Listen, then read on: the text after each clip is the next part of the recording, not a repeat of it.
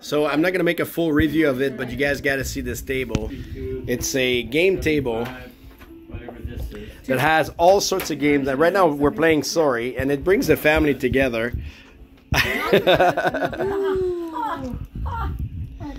we got it at Christmas, and I, I intend to do a full review eventually. Uh, we played um, Two thirty-five.